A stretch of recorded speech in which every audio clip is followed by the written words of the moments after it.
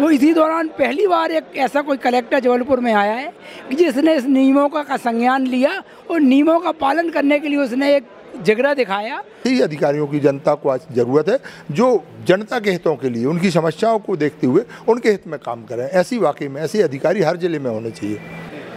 We are the thankful to the collector और इस कार्रवाई से ये होगा कि आगे जिस तरह का धांधली हो रही है स्कूलों में किताब परचेसिंग में डेसिस में रिकवरी ऑफ़ फ़ीस में उसके ऊपर चेक होगा संस्कारधानी जबलपुर की प्रसिद्धि की यूँ तो अनेकों वजह हैं। यहाँ नर्मदा कलकल बहती है, इस शहर का पुरातन इतिहास है, यहाँ अंग्रेज़ों के ज़माने से कैंट है।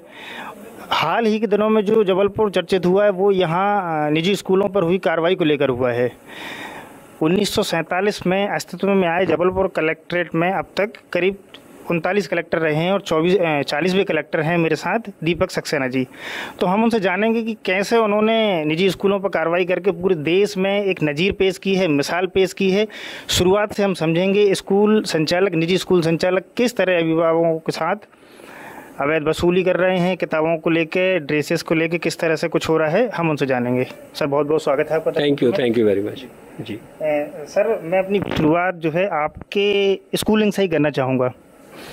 किस तरह से जो है जब आप पढ़ते थे आप निजी स्कूल में पढ़ते थे सरकारी स्कूल में पढ़ते थे? आ, मैं तो देखिए सरकारी स्कूल में पढ़ता था और जब अभी इस बात की बात चली कि कितनी फ़ीस लगती है तो मेरे पास जो मेरी दसवीं की मार्कशीट है उस टेंथ की मार्कशीट के पीछे वो स्कूल वालों ने फ़ीस भी लिख रखा है। तो मेरे समय में जो मेरी फ़ीस थी वो दो रुपये दस पैसे थी उस उसके हिसाब से। किस क्लास की बात कर रहे हैं ये मैं टेंथ की बात कर रहा हूँ। तो सरकारी स्कूलों में पढ़े उस समय फ़ीस अभी भी सरकारी स्कूलों में बहुत कम फीसें हैं प्राइवेट स्कूलों में व्यवसायीकरण हुआ है, यहाँ पे फीसें बढ़ी हैं।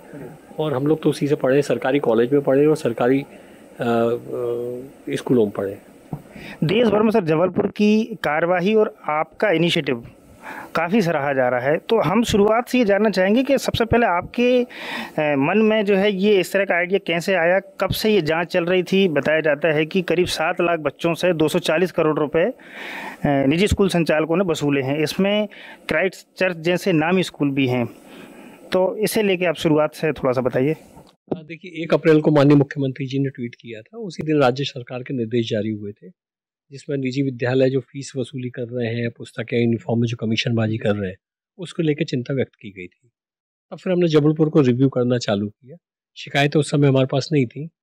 प्राइम ऑफिसी लोगों से बात करके समझ में आया कि शिकायतें इसलिए नहीं आ रही कि स्कूल प्रबंधन का बच्चों पर दबाव रहता है, उनके करियर की चिंता रहती है। तो मैंने फिर एक इनिशिएटिव लिया, एक अपना पर्सनल व्हाट्सएप नंबर जारी किया और लोगों को रिक्वेस्ट किया कि यदि आपको शिकायत करना है, आप मेरे नंबर पर कर सकते हैं, आपका नाम गोपनीय रखा जाएगा। एक दिन के अंदर तीन सौ से ज़्यादा शिकायतें इस मामले में प्राप्त हो गई। तब हमको आइडिया लग गया कि मामला बड़ा गंभीर है। सबसे पहले हमने जो एड्रेस किया मामला, वो किया पुस्तकों का। पुस्तकों की वो उस समय क्राइसिस चल रही थी, जल्दी होने वाली थी। लोग कह रहे थे कि भाई बहुत महँगी किताबें मिल रही हैं। हमने एक पुस्तक मेला लगाने का निर्णय लिया। पुस्तक मेला लगाने का जैसे ही निर्णय लिया, लोगों को पता पड़ गया कि हम लोग गंभीर हो गए इस मामले में। इसके बाद शिकायतें और ज़्यादा आना चालू हो गई। खासतौर से जो एक शिकायत आई, वो ये आई कि पुस्तकें जितनी स्कूल प्रबंधन के द्वारा बताई जा रही हैं, वो सारी की सारी फर्जी हैं और उन किताबों में से भी 80 से 90 प्रतिशत किताबें जो हैं, हर साल नई लगा दी जाती हैं। किताबों के फर्जी होने की बात जो थी, ये मेरे को बड़े आश्चर्य में डालने वाली बात थी। मैंने एस की टीम को जो है, मौके पर भेजा। करीब पच्चीस हज़ार से ज़्यादा किताबें उन्होंने जब्त की, जिसमें more than ninety six percent किताबें फर्जी थी। मैंने और एसपी ने जाके भी मौके पे देखा, हमने वेबसाइट से उसको मिलान किया और आश्चर्य हुआ कि इस तरह का पुस्तकों के मामले में खेल चल रहा है। फिर इसके बाद जैसे ही इलेक्शन कंप्लीट हुआ, हमने फ़ीस के इशू को उठाया। फ़ीस में चार पाँच इशू थे कि भाई आपकी ऑडिट रिपोर्ट तैयार होनी चाहिए। ऑडिट रिपोर्ट में आपका सरप्लस जो है फिफ्टीन परसेंट से कम होना चाहिए। यदि फिफ्टीन परसेंट से सरप्लस कम है तो जो फ़ीस वृद्धि का आपका प्रस्ताव है, वो नाइन्टी डेज़ में जिला समिति के पास पहुँच जाना चाहिए। दस प्रतिशत से ज़्यादा यदि फ़ीस आप बढ़ा रहे हो तो उसकी स्वीकृति आपको कलेक्टर से लेना चाहिए। जब इस तरह के डॉक्यूमेंट्स हमने स्कूल प्रबंधन से मांगना चालू किए तो किसी के पास नहीं थे। ऑडिट रिपोर्ट्स कोई पोर्टल पर अपलोड नहीं हुई थी। इक्का दुक्का ऑडिट रिपोर्ट्स थी। सरप्लस की जानकारी उसमें घुमा फिरा के बताई गई थी। फिफ्टीन परसेंट से ज़्यादा कई स्कूलों में सरप्लस था। इसके बावजूद उन्होंने फ़ीस बढ़ा दी थी। फ़ीस बढ़ाने की सूचना नहीं दी थी। दस प्रतिशत से ज़्यादा है तो कलेक्टर की स्वीकृति नहीं ली थी। तो कुल मिला के पूरा के पूरा गोलमाल था। जो पर्पज़ मुझे समझ में आया सबकी एक-एक करके जाँच करके कि ये इनका जो इंटेंशन है वो अनुचित लाभ कमाने का है, क्राइम करने का इंटेंशन है।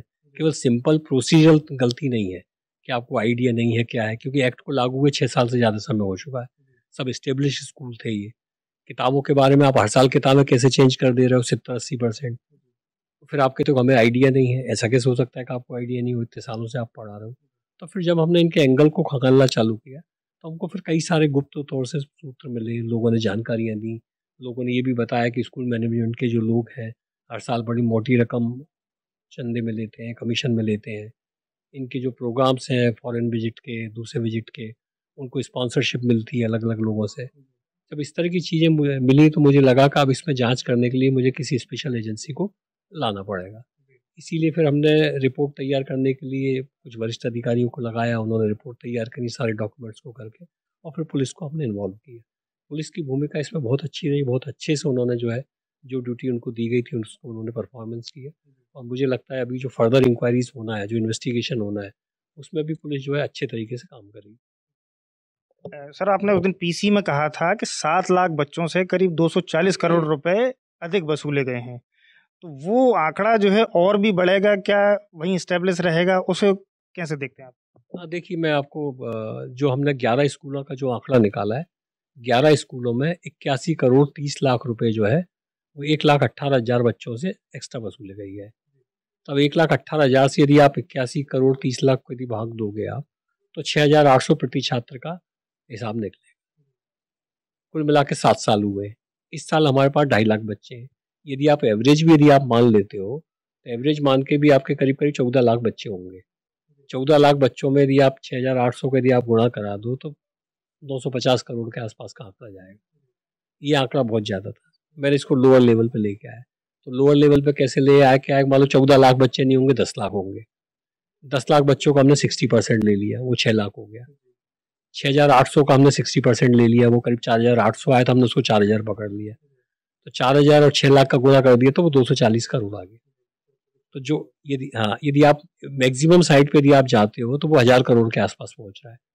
जो एवरेज इन ग्यारह स्कूलों का है, उन ग्यारह स्कूलों का एवरेज यदि आप पकड़ते हो तो वो हज़ार करोड़ का पहुँचता है। और जितने बदमाश ये स्कूल है, शायद उतने बाकी सब नहीं होंगे। इसलिए बहुत मिनिमम लेवल के लेवल पे जब हम लोग लेके आए तो हमारा आकलन ये है कि कम से कम ढाई सौ करोड़ से ज़्यादा की फ़ीस वसूली जो है, वो तो गड़बड़ तरीके से वसूल की गई। सर आपने कहा कि अभिभावकों को ये राशि लौटाई जाएगी। उसकी जिला प्रशासन ने कैसी तैयारी की है? कैसे अपन उसे वापस करेंगे ताकि अभिभावकों तक वो राशि पहुँच जाए? हाँ, देखिए राशि वापस करने का जो तरीका है वो एक्ट में डिफाइन है।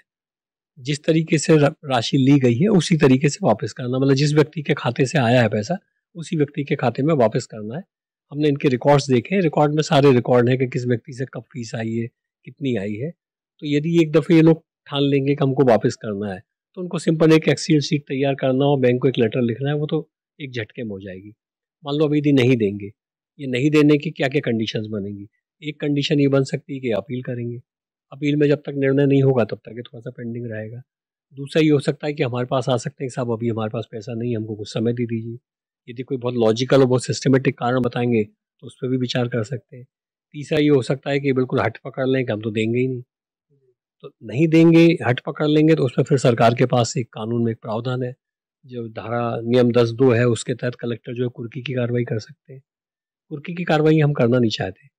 ये बड़ी अप्रिय कार्रवाइयाँ हैं। और मजबूर करेंगे तो छात्र हित में करना पड़ेगा। तो वो भी करेंगे। ग्यारह स्कूलों के रिस्पेक्टेड सर मैडम जो है, पुलिस की हिरासत में है। अब हम सर से जानना चाहेंगे कि ये स्कूल ग्यारह बड़े स्कूल पेरेंट्स से किस किस मद में जो है कैसे कैसे फील वसूल करते थे? देखिए इसमें जो हमने जाँच की है बड़ा इंटरेस्टिंग इसमें वो आए हैं। एक तो सबसे बड़ा जो वो है कि आप फ़ीस कब ले सकते हैं? फ़ीस आप तब ले सकते हैं जबकि आपकी जो सरप्लस मनी है वो फिफ्टीन परसेंट से कम हो। और उसके लिए ऑडिट रिपोर्ट लगेगी। अधिकांश स्कूलों की ऑडिट रिपोर्ट नहीं है।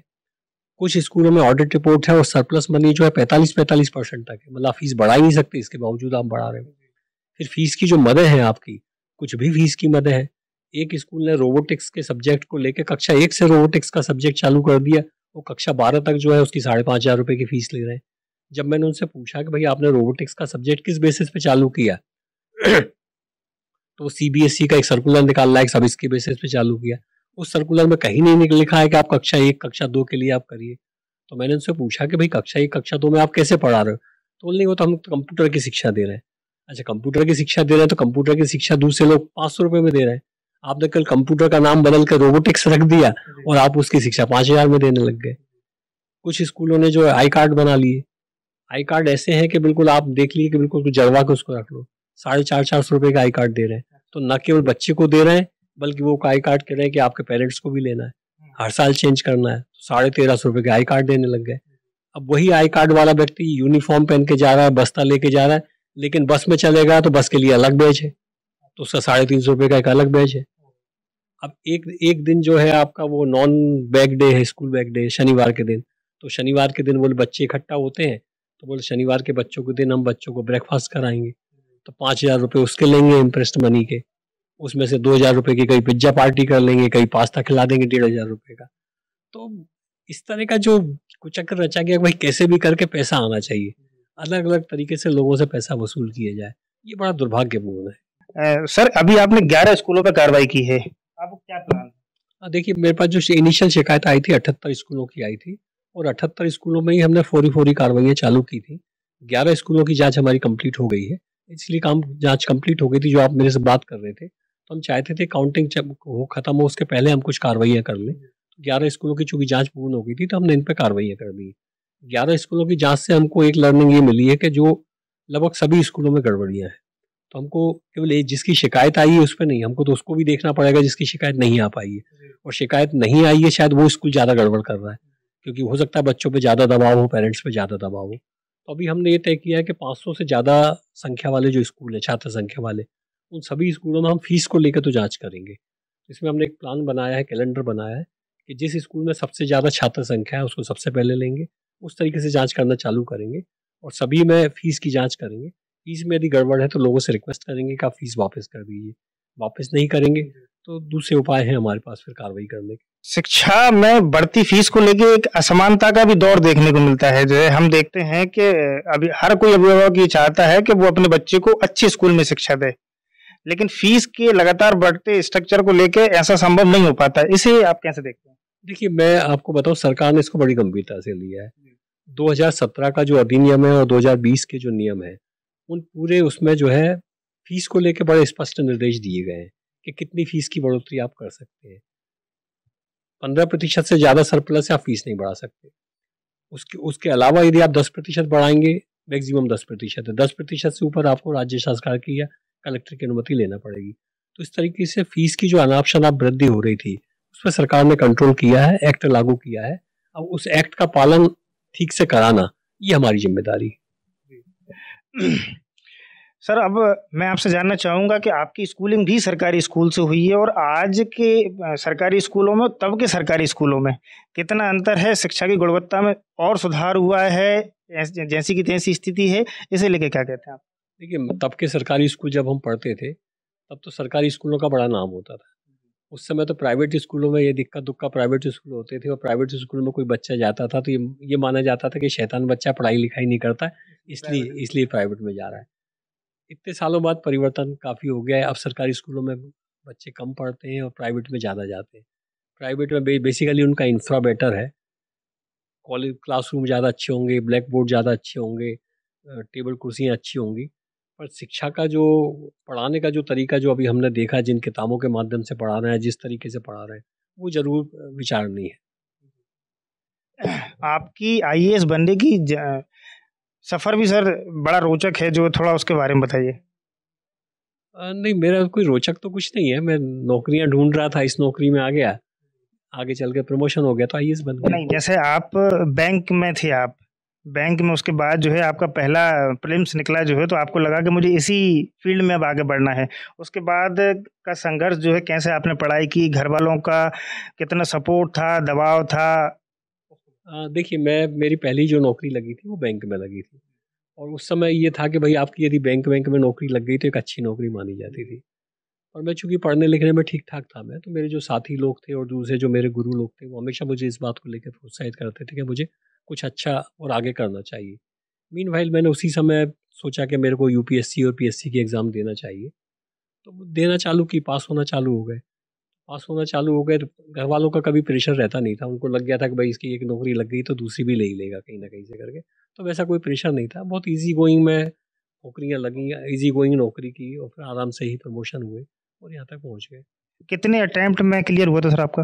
आ, मेरा सेकंड में हो गया था। फ़र्स्ट अटैम्प्ट में मेरा जो है सिलेक्शन मतलब बैन और मैं उसमें हो गया था, एक क्लास जो पहले ग्रुप थर्ड जो होता था ग्रुप थर्ड की मेरे को उसमें फ़र्स्ट अटेम्प्ट मिली थी, वो मैंने फिर ज्वाइन नहीं किया था और सेकंड अटेम्प्ट में फिर मेरा डिप्टी कलेक्टर के लिए हो गया था। 2010 में आप आईएएस बने, उसके बाद से आपका पूरा करियर जो है बहुत स्थिर रहा है, जो है आप, आपके व्यक्तित्व में भी स्थिरता झलकती है, आप बड़े स्थिर प्रज्ञ हैं, जो है, ये कैसे आया आपके जीवन? नहीं मैं ऐसा नहीं है कि आई में प्रमोशन होने के बाद ऐसा हुआ है। नहीं, मैं तो मतलब 2010 में जो है आप से आपने देखा होगा पर वो ऑलमोस्ट मेरा जो शुरुआती दौर नौकरी का रहा उस समय ज़रूर थोड़ी सी ज़्यादा ऊर्जा रहती है और आप थोड़े ज़्यादा चंचल प्रवृत्ति के आप रहते हो। तो शुरू के छः सात साल यदि आप छोड़ दें जहाँ मैंने सीखा मेरे जो सीनियर लोग हैं मेरे साथी लोग हैं उनके साथ जब मैंने सीखा और फिर मुझे मेरे मेरे ख्याल में उन्नीस सौ अट्ठानवे दो हज़ार के आसपास मुझे फिर समझ में आ गया। कि इस पूरी नौकरी में आपको बहुत धीरज के साथ बहुत संयम के साथ सभी लोगों के साथ जुड़ के धरातल पर रह के काम करना ज़रूरी है। तब आप अच्छा काम कर पाएँगे नहीं तो नहीं कर पाएँगे। मैंने अभी आपसे बातचीत के दौरान देखा कि तमाम मीडिया कर्मी आम जन आपसे मिलने आ रहे थे जो है इसे आप कैसे मैनेज करते हैं? देखिए मैं मतलब मैं इस बात को बड़ा खुशकिस्मत समझता हूँ कि लोग आपके पास मिल जाए लोग आपसे कोई अपेक्षा रख रहे हैं उनकी अपेक्षाओं को आप पूरा कर पा रहे हैं। आपको कुछ काम मिल रहा है आज की तारीख में स्थिति ये है कि लोगों के पास काम नहीं कोई मिलने नहीं आते आपके दरवाजे देखने नहीं आते। तो हम चंद सौभाग्यशाली लोगों में से हैं जिनके लोग मिलने आ रहे हैं आपके पास टाइम कम है।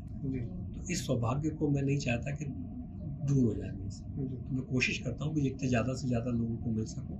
और मेरी कोशिश एक बात ये भी रहती है कि यदि मैं एक बार किसी से मिल लिया तो दूसरी बात उसकी सूरत देख के उसकी परेशानी को समझ सकूँ। मतलब उसको दोबारा मेरे को याद दिलाने की ज़रूरत ना पड़े कि शाम पिछली बार आया था आपको ये एप्लीकेशन दे गया था आपको ये कहा था आपको वो कहा था। मेरी कोशिश ये रहती है कि भाई दूसरी बार यदि कोई व्यक्ति आया तो मेरा हाथ तत्काल टेलीफोन पे चला जाए फलाने से बात करा तो इसकी ये समस्या सर आपकी जीवन संगनी मैम का जो है आपकी नौकरी के दौरान जो है उनका कितना सहयोग रहता है जो है?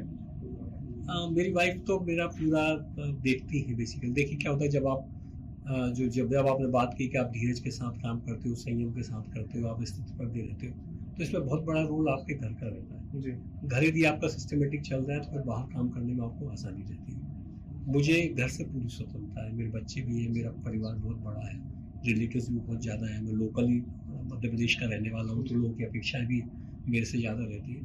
तो मेरा पूरा जो सोशल सर्कल है मेरे रिलेटिव्स हैं मेरे बच्चे हैं वो सारी समस्याएँ वाइफ संभालती है। और मुझे भी संभालती है। और उनकी जो प्रशासनिक समझ है वो मेरे से ज़्यादा बेहतर है। अच्छा। कई सारे मामलों में मतलब वो मुझे सलाह भी देती है। मतलब अंदर जैसे स्कूलों के मैटर चल रहे हैं तो अब इतने सारे व्हाट्सएप आ रहे हैं इतने ईमेल आ रहे हैं इतने सारे टीवी न्यूज़ चैनल पे चीज़ें चल रही हैं। वो समय निकालती है देखती है उसमें से फिर जो उनको लगता है कि मेरे नॉलेज में लाना चाहिए वो लाती है। तो उसका मुझे काफ़ी फ़ायदा मिलता है। स्कूलों पर कार्रवाई को लेकर मैम की किसी सलाह पे आपने अमल किया?